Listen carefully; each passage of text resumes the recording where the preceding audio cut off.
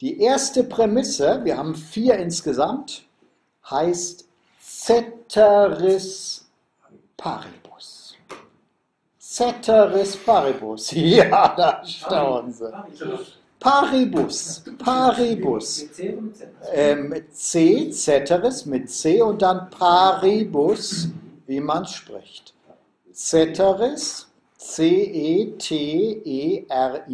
und Paribus, P-A-R. Ja, zwei Worte.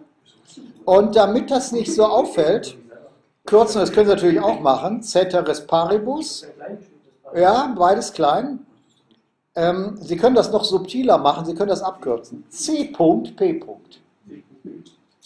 Ja, das ist die zentrale Lebenslüge der Betriebswirtschaftslehre. Ceteris Paribus.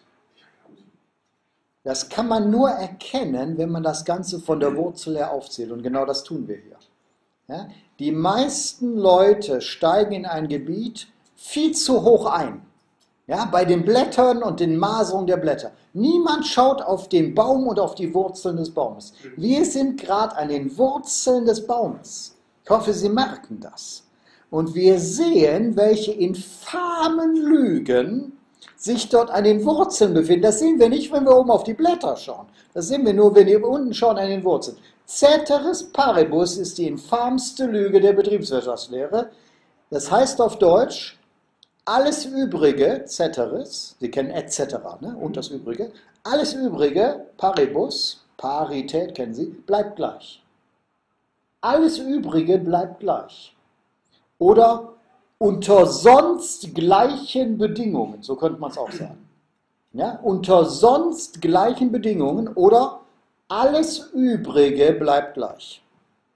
Die infamste Lebenslüge der Betriebswirtschaftslehre.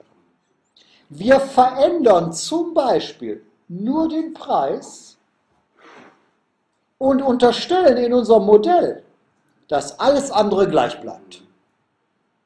Die politische Situation, das Klima, die Stimmungslage, alles bleibt gleich.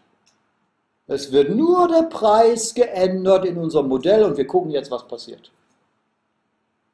Sehen Sie jetzt, warum das alles nicht funktioniert? Normalerweise müsste doch jeder, der BWL studiert hat, den Marshallstab im Turnister haben. Das heißt, er müsste wissen, wie er ein erfolgreiches Unternehmen aufbaut. Ich sage Ihnen, er weiß es nicht. Ja? Der ist verwirrt auf einem höheren Niveau, dass das was rauskommt. Ja, der war vorher verwirrt, jetzt hat er Studium gemacht, jetzt ist er immer noch verwirrt, nur auf einem höheren Niveau. Das ist der einzige Unterschied.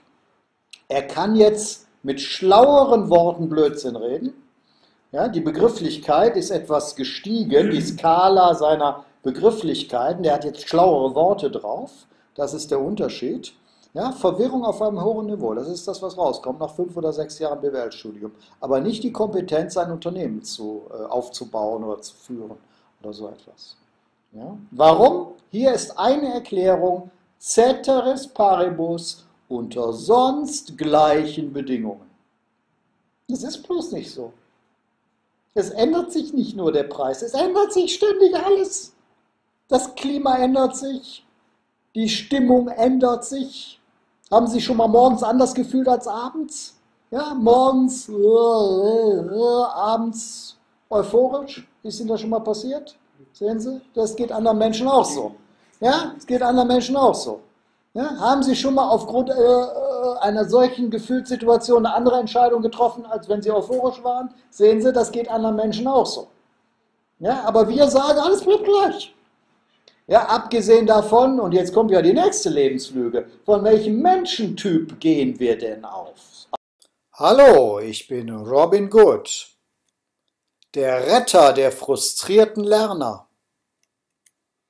Klicke mal auf den Link unter diesem Video.